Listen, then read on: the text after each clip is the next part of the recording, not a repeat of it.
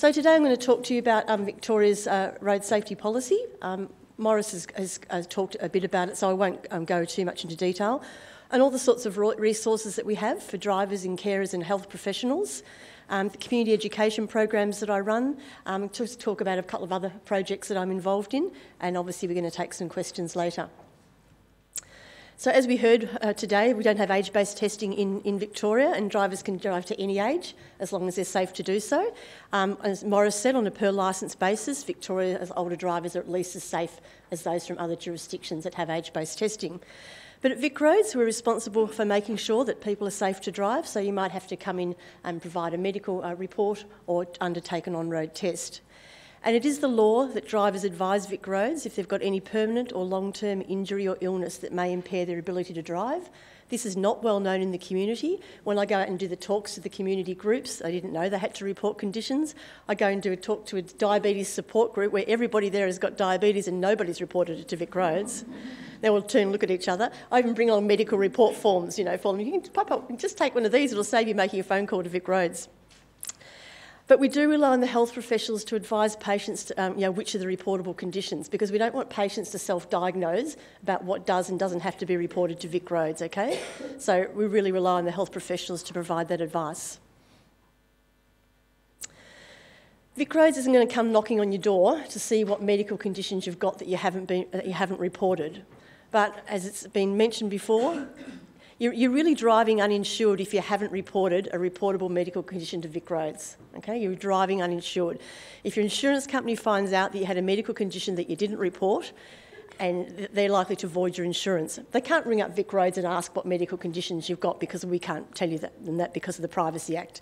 But if they find out some other way, then um, you, you, may not have any insurance. And also, if you hurt somebody, they can sue you because you're really driving illegally if you haven't reported those medical conditions. So that's a really important uh, message to get across to, to your clients. And that's one that I get across to um, the older driver groups that I speak to. And that really hits home that if they're driving with no insurance, they sort of go, hmm. So what's going to happen if you have a minor crash? The other driver, you know, get out to exchange uh, names and addresses, and you get out with a walking stick. The driver's going to say to his insurance company, "That woman who hit me, she's supposed to be driving. She walks with a walking stick." no insurance. So the, the topic um, of my presentation today is um, notifying Vic Roads. Is that enough? Um, for drivers, it is. As I said, drivers have to report medical conditions that may affect safe driving to Vic Roads, and if they do that, then we take it from there. But from health professionals, no, it's not enough. It's, it's only one part of the process. Um, as health professionals, you need to routinely um, consider fitness to drive and, and mobility issues for your clients. You need to advise the drivers of which conditions are reportable, as I've mentioned before, and record that advice and action in your case notes, as Morris alluded to. Make sure that you've covered yourself. Give the, give the person the, the advice and then write down that you gave them the advice, so you've at least covered your, yourself in case something ends up in court. Um, and also, um, you need to support drivers and, and, carers with mobility transitions. And follow up. If you've given people advice, um, follow up on that advice. Don't just think that once off is enough. Obviously, people who lack insight, if you give them advice, um, they're not going to take it. So you, perhaps you can get through to the families instead. Uh, in the end, end, of the day, you just report them to Vic Roads. As Morris said, you can't be sued for reporting in good faith. Vic Roads has got a lot of resources which we um, uh, designed to help assist you. Um, we've heard about medical review from Morris uh, earlier. We've got licensing provisions such as the conditional licences, so they can provide people with some sort of a, a mobility that's in line with their abilities. And we've got resources, paper resources, and also web pages, which I'm going to talk to you about. So the resources are really there to support you, to, to support health professionals and carers and drivers to understand how a licensing system works and what people's obligations are.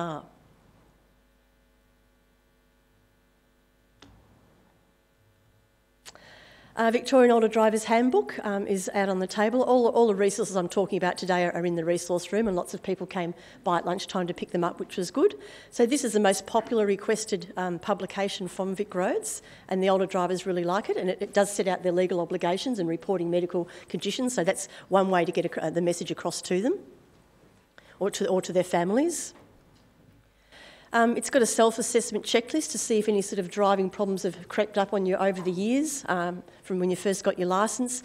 It talks about medical conditions and medicines and right through to planning for change. So it'd be great to think that we could all drive to the day we die, but we probably won't be able to. So uh, planning for that time when you don't drive anymore is, is really important. It's, we've heard how devastating it is to, to, have your licence taken away from you, but at least if you've planned for, for getting around some other way, um, it, it makes it uh, a lot easier decision. Now, I developed some web pages uh, late last year when we, we launched them with Victoria Police. So, what I've done with the Older Drivers Handbook is I've put it up on web pages on VicRoads website, and the uh, URL is there. So, if you don't have a copy of the Older Drivers Handbook but you want to see something about the information in there, um, there's the URL for that. The other thing, which is really important, a website that I developed last year, web pages, is one for concerned family and friends of older or impaired drivers. Okay, that bit of information wasn't out there uh, in, the, in the community. So, what do you do um, if you are concerned about someone uh, being an impaired driver, be it a family member or, or a close friend? What action can you take? And I'll just show you what those uh, web uh, pages look like. Uh, that's the older driver one, and uh, down the side is, is the equivalent to the chapters. And they've got drop down boxes up the top, and you can get all the information um, that you need from the older driver handbook there. And this is the, what the family and friends uh, website web pages look like. So if you go down the side, it talks about the ageing driver. So what, what are the normal processes associated with ageing, uh, medical conditions and medicines, and how they affect driving. The warning signs, what to look for. I mean, is, your, is your older dr- driver, is your um, um, family member really impaired or not? Is this normal signs of ageing, and what should I be looking for? It uh, talks about how driving skills deteriorate uh, as we age. And helping them stay on the road. So these pages aren't about putting older drivers or impaired drivers off the road. Uh, if, they're, if they're too impaired to be on the road, okay, we don't want them on there. But there may be some ways that you can help them stay on the road. So maybe they just need to reduce their, their driving. Maybe they drive to the train station and get the train into, into, into Melbourne or something like that rather than drive all the way. So there is some information there about helping them to stay on the road, going to the doctors with them and, and discussing driving, make sure that driving's brought up. Um, then there's the alternatives to driving, um, so helping them to, to get around some other way.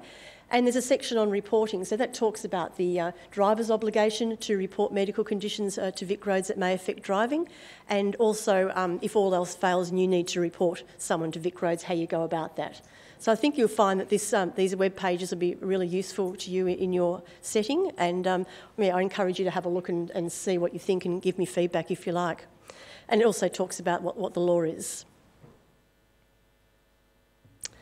Um, a few of the resources. Um, there's a medical review fact sheet out on the resource table so that explains how a medical review system works. So that might be something that you can hand uh, to your patients because um, the first um, thing that, that, people find out about how our licensing system works is when they get that letter from VicRoads saying you've been reported and you've got to, you know, here's your medical report form and you've got to go and get it filled in and they don't even know how the system works. So that, that's a good brochure to give out to your clients.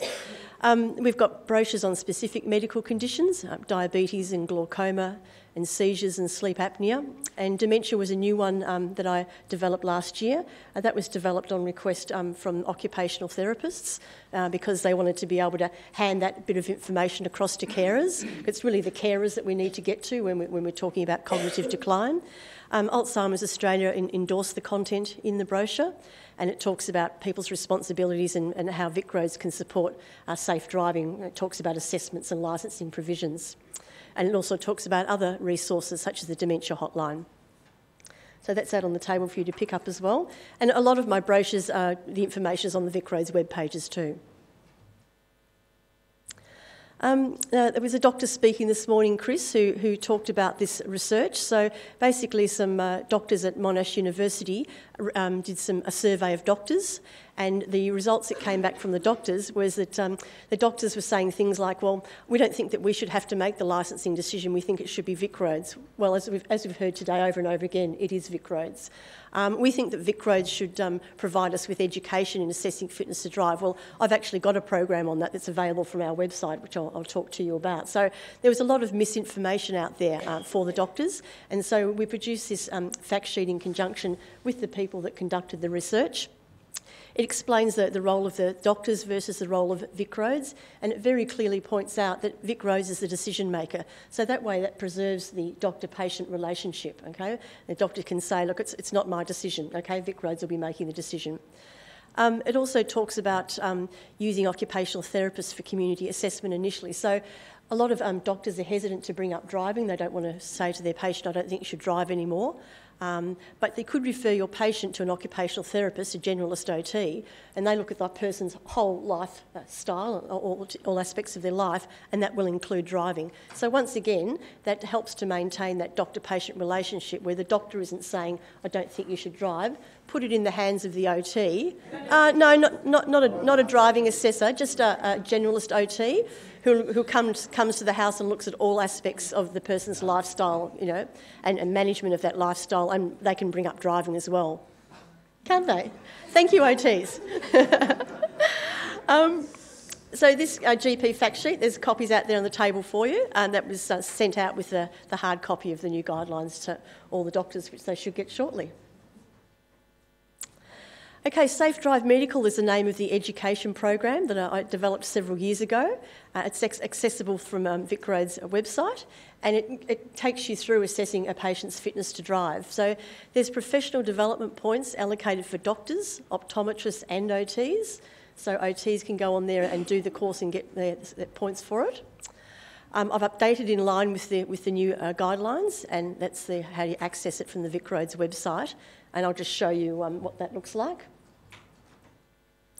The modules, um, road trauma statistics, ethics and law, driver licences, the health standards, health professional practice, referrals, medical and non-medical, some case studies to cement the information, and there's active learning modules in there. And one of those active learning modules, um, which uh, I thought about today when someone else is talking, is actually um, going through your uh, clients' uh, list of clients and, and finding out do you, do you, really know who drives and who doesn't drive, who's got a licence and who hasn't. Is it a heavy vehicle licence? So that was one, one of the exercises in that active learning module. And this is what the uh, website uh, looks like just go into there, you have to register. Anybody can, can go in and do this course. You don't need to be a health professional. All you have to do is set yourself up with a, a, username and password, and you can take yourself through the modules, and you will learn more about assessing fitness to drive. And obviously, we're all interested in that because that's what we're here for today. So once you've registered, um, you can log in and start, and um, you can, if you haven't completed a particular module and you log out, it will take you back to where you were in that module. So it puts the modules up there on the front screen so you can see which ones you've done and which ones you haven't, uh, when you started and finished it, how much of one you've done, and you can just work your way through those modules uh, in any order that you like. So I'd encourage you to, um, to go and, uh, and look at that uh, program and once again give me feedback on it. We've heard about the, the guidelines from Fiona this morning, and as she said, there's a focus on the key chronic conditions, um, it also talks about the role of practical driver assessments in there because, once again, the doctors were saying, you know, we need some help here, and so we actually get a practical uh, driving assessment from an OT. And, and it also talks about the role of generalist OTs as well. So that was new information that was added in that, that wasn't in previous versions. Fiona talked about this um, publication today up on the screen. There's also those are in the resource room. Um, Austroads have updated their, uh, their website and there's got the client information sheet there. There's links on their website to state-based resources, and um, obviously as part of the implementation, um, there's soft copies available for people and then hard copies out to all health professionals. So um, we've also got a couple of resources on, on managing transitions because some people need to be managed through that transition from driving to non-driving. As um, someone mentioned this morning, maybe Therese said, um, you know, have the, have the discussion early uh, in, in it. Don't, don't wait until um, there's been a, a, crash or there's been a, an incident before you start talking about making that transition with some of your clients. Um, the red flags to look for, you know, the um, ding, dings in the car and the scrapes on the, on the gatepost and things like that. And link in with all the other resources that are available. There's a Disabled Motorists Association, there's a dementia hotline. Um, you can also contact VicRoads Medical Review uh, for advice in confidence. Um, there's a separate phone number for health professionals that's in, in the contacts in the, in the back of your guidelines. We've got a, a book on motorised mobility scooters and, and, electric wheelchairs. So these are the people who, who need um, some help with their mobility. So the eligibility to use them is that you actually can't walk or you have difficulty walking. So they're not for people who don't drive anymore just decide to hang up their keys. They're only for people who have a mobility issue. It talks about all the, all, you're laughing at me, and yeah, and, any, and anybody can go out and buy one and um, the retailers will sell them to anybody. So it goes through all the information in there, including, including the pedestrian road rules, which a lot of people um, aren't aware of. And there's Getting Around Without a Car uh, is a brochure. Now, unfortunately, it's very um, metro-centric, but we did contact some um, uh, people in our rural areas to ask us uh, to uh, tell us what sort of information we could put it in there, which would be more helpful to people in rural areas, but they didn't really come back with uh, anything worthwhile. One, one guy said it was fantastic, don't change anything. And one person said, um, oh, you need to put all the services in there for all the different regions. Well, we can't do that in one publication. So um, your input or feedback on that publication and what, how we could improve it would also be of benefit to Vic Roads. Um, I run community education programs on request, so Probus clubs and um, chronic disease support groups. I basically cover the uh, content of the Older Drivers Handbook. I also do pedestrian talks to community health centres when they have a falls prevention program.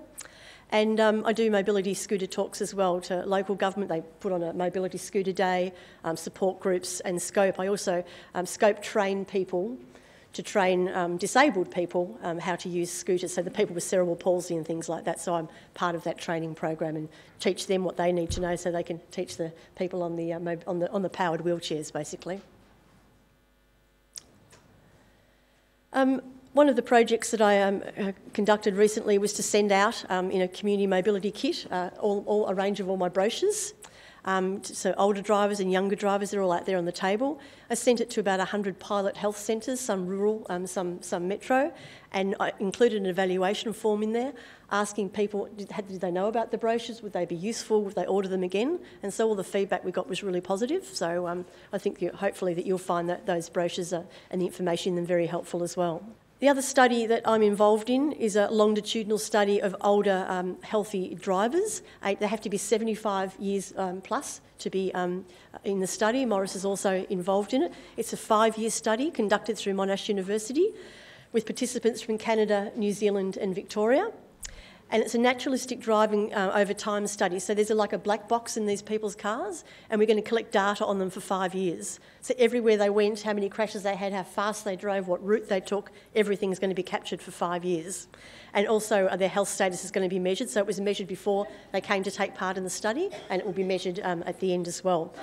Hopefully they're still still around. Um, we, we did talk, um, Richard spoke this morning about screening tools, getting a good screening tool which is going to be able to screen whether someone's can fit to drive or not fit to drive, going to crash, not going to crash.